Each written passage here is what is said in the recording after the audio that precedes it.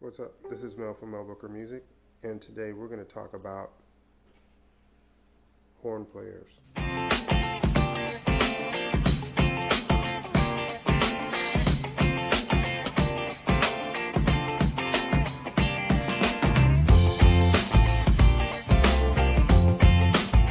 What's up, everybody?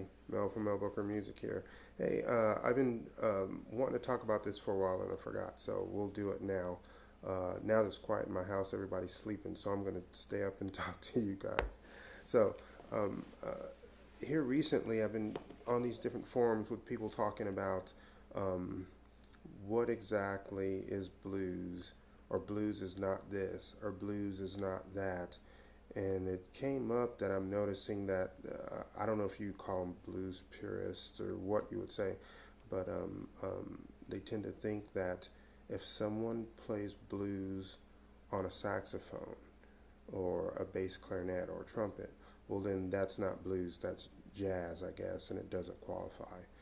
But in my thinking, blues has always been birthed out of emotion. Everybody hears it differently, everybody feels it differently, and thus, when it comes out of your instrument, it's going to come out differently.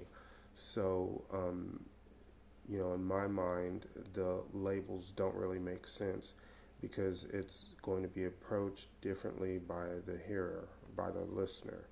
Um, so you can't say what it is and what it isn't. But I did notice a lot of times that guys will say, uh, well, that's jazz. Well, I guess technically, if you want to put a label on it, um, if you take that 12 bar blues and you, you add some detours to it, then I guess you could call it jazz because jazz guys tend to do that more than, than um, I guess regular guitar players would with 12 bar blues or something like that with some distortion and and uh, um, more electric guitars versus hollow bodies or something like that. But um, what I what I did for a long time is I went and searched out um, horn players, uh, namely Coltrane, Miles, uh, and Roland Kirk and Eric Dolphy were the main ones, and I started trying to incorporate some of that into my playing uh, because you don't get always the linear line. Sometimes you, you get um, uh, chord tones a lot more from the horn guys than scale degrees, which would come a lot of times from, from us people who play stringed instruments. So um, I, I took that and I added it to my playing. So you guys are going to see some clips. I'm doing a run through of some stuff that I'm working on, but I mixed kind of the blues rock thing with this more horn-like approach where you're not only playing scale degrees, but you're playing chord tones. And this is not a theory lesson, so we won't go into that. But you guys that, that, that listen to horn players, you'll know what I'm talking about. So I said all that to say this. Don't let anyone tell you what blues is or what jazz is or whatever. Uh, you guys have seen the quote that I put up from Miles Davis talking about um, um, players getting stuck. Um, and Miles always took the, the, the jazz label and changed it and pushed it to some new thing.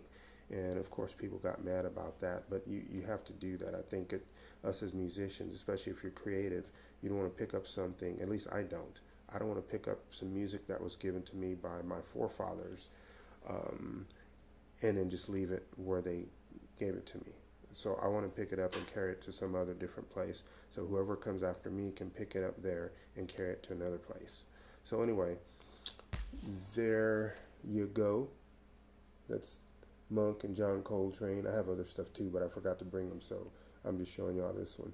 So um, uh, you guys can listen to me do a couple of playthroughs, a couple of run throughs on some stuff I'm working on, and I'm going to blend some of these horn type lines with uh, blues rock stuff. So enjoy, and I'll see y'all next time. Thanks.